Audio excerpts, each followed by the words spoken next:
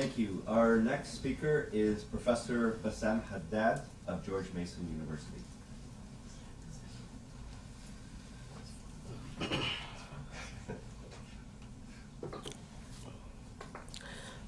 Um, to the cameras, I'm actually standing up, so.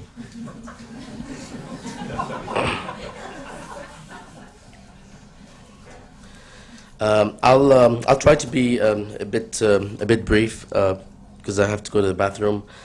Uh, my talk is going to be a little bit disappointing because it's not really about revolution, and uh, I think uh, some of us who have been uh, well, all of us who have been glued to the TV and, and the print press um, uh, have, have gotten a good deal of, of, of analysis on the basics. So I will actually be addressing reform, economic reform, and how it got us in part to where we are today. So I'll be talking about reform and social polarization in Egypt. We have been witnessing a magnificent set of developments in Egypt that many of us did not see coming, at least not this fast. My recent work uh, on the political economy of Egypt um, and its growing social unrest uh, has focused on issues that uh, we are seeing today on the streets. Um, and these are uh, outcomes of uh, various kinds of uh, reforms that I'll be addressing. But I never thought it would have this much relevance so quickly.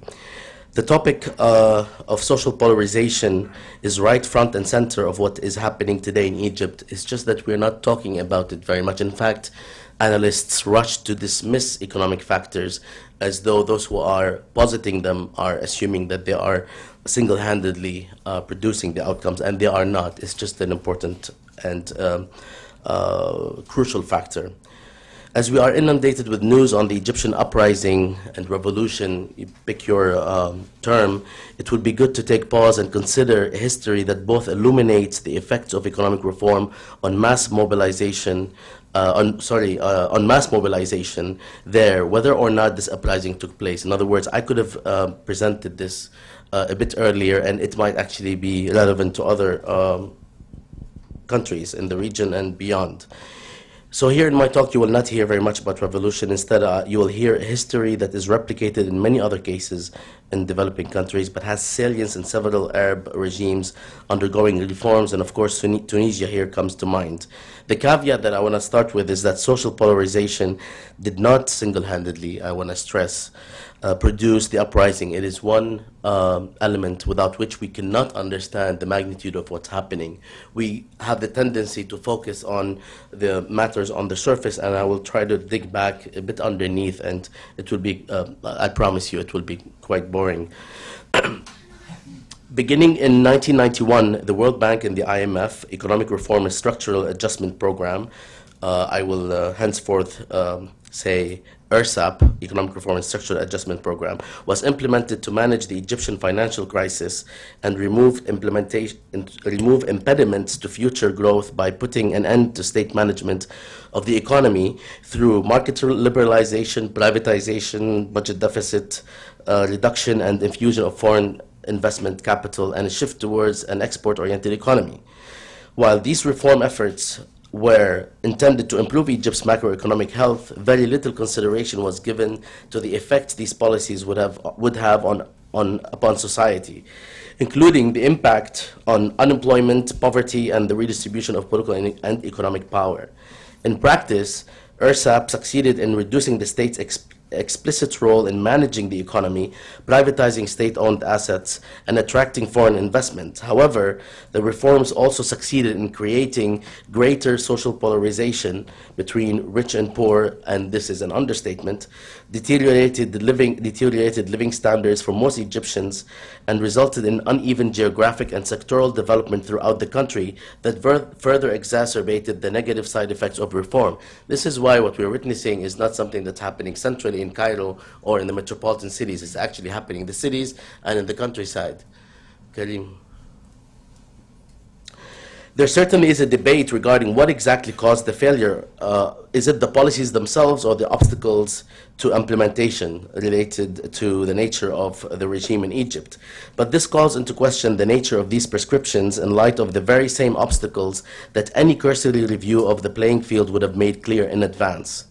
Furthermore, evidence from the research uh, of economists and practitioners, including people like Francois Bourguignon, who are uh, connected with the World Bank and actually was the former vice president of the World Bank, suggests that outcomes related to inequity and social polarization are not explained wholly by policy implementation. In other words, the corruption of the regime or the authoritarian nature of the regime, or even simply elite capture of these uh, policies although it, they play a big role.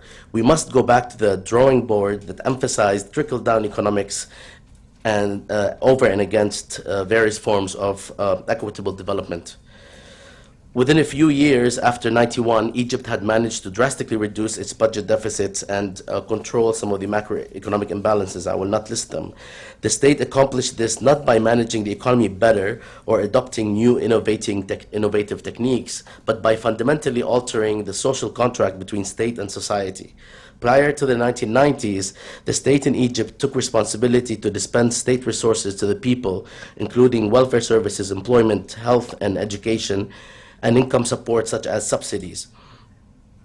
In return, the population was somewhat acquiescent vis-à-vis the regime, though this did not happen across the board.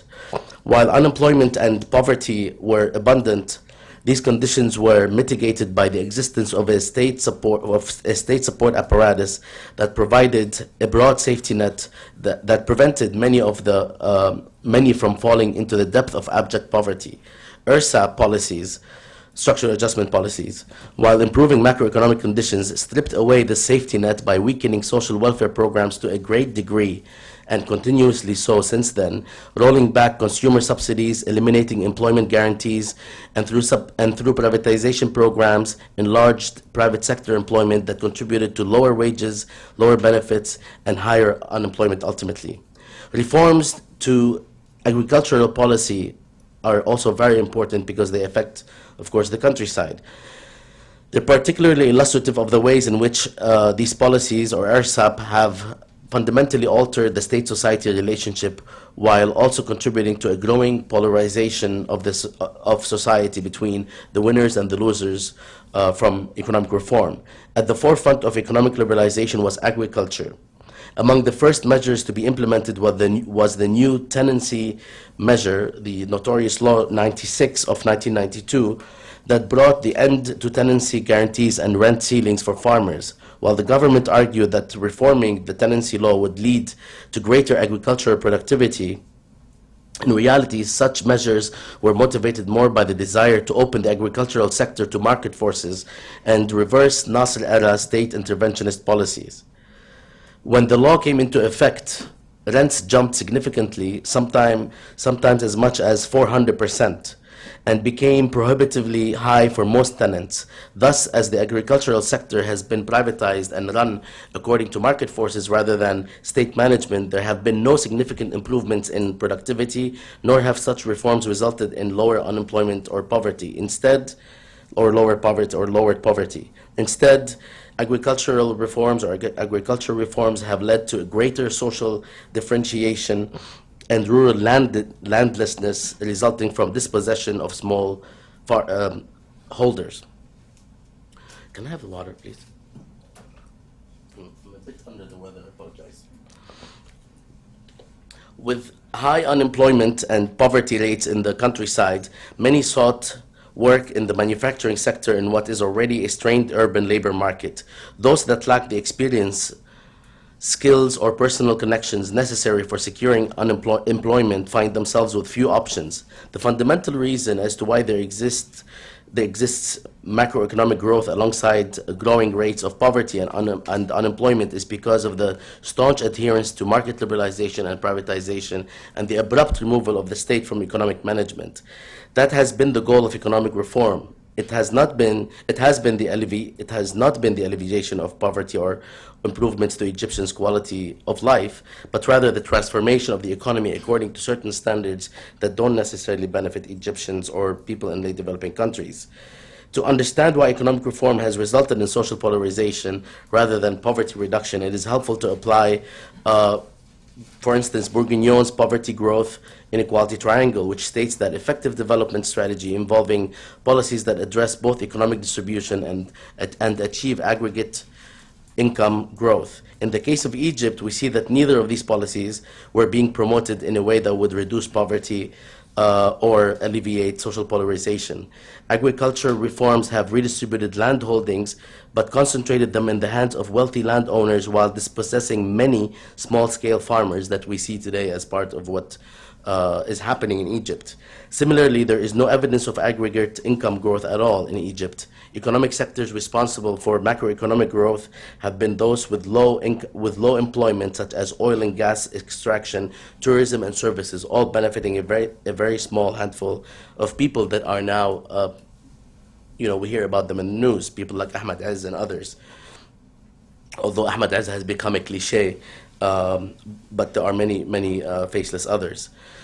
High employment uh, sectors such as agriculture and manufacturing have seen their contribution to economic growth decline uh, considerably. The benefits of macroeconomic growth have not positively affected workers or society as a whole, but have been concentrated, but have been concentrated among small economic sectors in terms of person power. Poverty has not been alleviate, alleviated either. Instead, it has increased from 17% of the population in 2000 to at least 20% in 2005, and it's actually uh, probably a few percentage points higher at this point by conservative standards. So, living standards. Or where did the uh, constant supply of protesters come from? Although accompanying social polarization are uh, deteriorating living standards that result uh, from economic reforms that have abruptly removed, also, I said although, but it's also, which means I should read it again because I didn't know where I was going with that. Also accompanying social polarization are deteriorating living standards that result from economic reforms that have abruptly removed state social welfare support mechanisms, privatized state industry, devalued the currency, and exposed an already vulnerable labor class to market forces.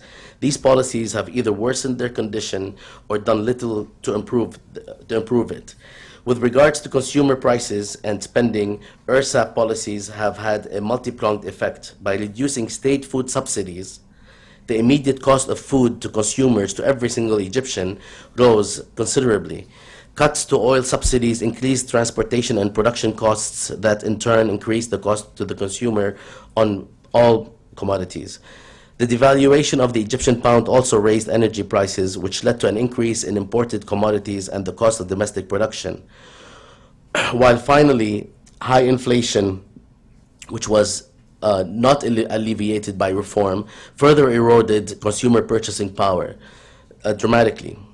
Added to this is the rise of private sector employment whose workers receive considerably lower wages and benefits. The confluence of reform measures and their unintended si side effects, consumer subsidy cuts, rising commodity prices, and rising inflation have combined to worsen the living standards of most Egyptians to the point where we've gotten to a point in Egypt where in 2005, as I'll say as I conclude in a couple of minutes, uh, where uh, it became almost unbearable to most Egyptians in 2005. So we're talking about five years after that kind of threshold, and these things cannot be um, uh, measured, uh, and that's why revolutions cannot be predicted.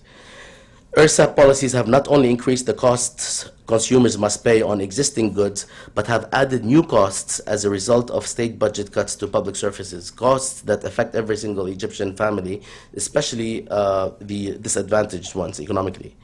After the 52 revolution, education became free and universally available, as many of you know, while healthcare was similarly expanded to benefit all citizens. However, beginning as early as the 1980s, World Bank the World Bank began, uh, began advocating cost recovery measures to reduce budgetary waste, enhance efficiency, and encourage reinvestment in improved services. In practice, this meant changing, charging user fees for education as a means of discouraging not so serious students, and I quote, from wasting precious resources and putting pressure on the educational administrators and teachers to improve the internal running of the educational system. The result was a regressive was regressive as the, the result was regressive as the poor paid a considerable burden for private education. One estimate claims that private tuition accounts for nearly 20% of a poor household's budget. There is also a secondary issue of mandatory tutoring, whereby teachers, as a way to add to their meager income, pressure students to take additional private lessons while charging students summary fees for lecture notes, examination guides, or even the examination itself, all of which further increase education costs and strain family budgets in significant ways. A similar situation is occurring with regards to the healthcare to healthcare as user fees have increased the burden on poor families or discourage them from seeking treatment. Something that we see the effect of in, in Egyptian popular culture in terms of films or, or, or sitcoms and, uh, and so on. In rural areas, land reforms and the abrupt introduction of market forces that have raised the cost of land, rents, and inputs, combined with the fall in commodity prices, have led to higher rates of rural indebtedness. This, in turn, has compelled many families to remove children from school in order to reduce expenses as early as the 1990s. This, in turn, has compelled many families to uh, and, and remove children from school and sell off family assets such as jewelry and more importantly livestock. While such steps may have may be um, may alleviate short-term problems in the long run, the effects were self-defeating. Without education, young people have virtually no chance of improving their status, while selling off livestock puts farmers at a significant disadvantage. Many resort to sharing livestock, but this still results in decreased productivity and a host of other outcomes. Lacking the help of state support mechanisms, these farmers are left with few options but to, strat- but to strategize for the long term, for the short term. They simply cannot afford to plan for the future, and this also produces its own effects that are uh, deleterious for the economy and so on. Because economic reforms were implemented with the primary goal of transforming Egypt into a free market economy, quote unquote, vital state functions were abandoned or curtailed and have had a profound impact upon society, which I uh, have discussed a bit, but it's actually uh, much more severe than that if you look at the, at the, at the forest. Macroeconomic conditions may have improved a bit, but in terms of um, some indicators, and Egypt was considered one of the best places to do business just in 2008. It just gives you a sense of how there's this bifurcation between what's happening on the ground and what uh, certain institutions, IFIs, and patron countries are interested in, and uh, in terms of numbers and quantifiable things. Macroeconomic conditions may have improved, but for society as a whole, the situation remains precarious or remained precarious. While in the pre-reform era, living conditions may have been strained, there still existed a semblance of a social safety net that could alleviate some conditions of poverty and mitigate polarization.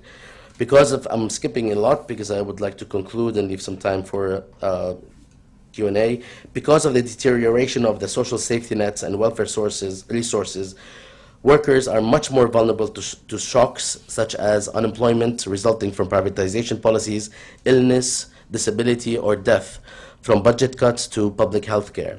Enough people in Egypt have experienced all of the above by 2005, which is a very scary prospect. And between 2005 or 2005, 2006, and, and last year, when the, um, uh, the numbers were calculated, uh, more than six to 7,000 protests have taken place, depending on how you would uh, uh, basically identify a protest, workers' protests all over Egypt at various levels at different times.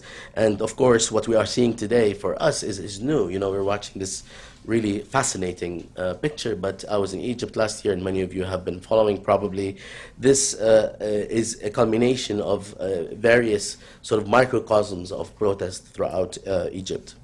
Economic reform sought to transform the Egyptian economy from a state-managed system to a free market, export-oriented economy. This was always the ideal. Absent from the agenda was economic development which uh, would have sought improvements to agriculture and, and, manufacturing productivity, alleviation of poverty and employment, and broad-based economic growth that benefits most Egyptians. As a result, economic gains resulting from reform measures have not benefited uh, society, or even significant any portion, any significant portions of it.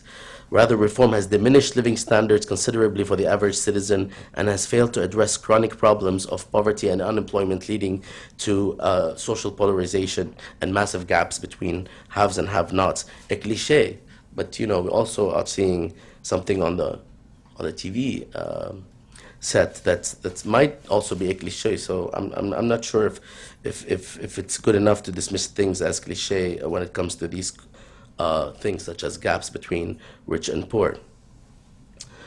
It also led to the creation of a huge gap, again, between rich and poor, leading to the kind of social polarization that produces deep and widespread instability one day. But, you know, uh, the day has come, at least in, in, in, a couple of places in the region.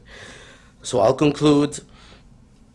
Uh, though economic factors do not, in and of themselves, explain the outcome we are witnessing, as Hanna Batatu used to say in class and in his books, and in class probably down here, just a few feet we cannot adequately understand this outcome without paying a good deal of attention to such factors. My concern is that what I just discussed might not be part of the lessons learned, whatever the outcome of these Arab uprisings. Thank you.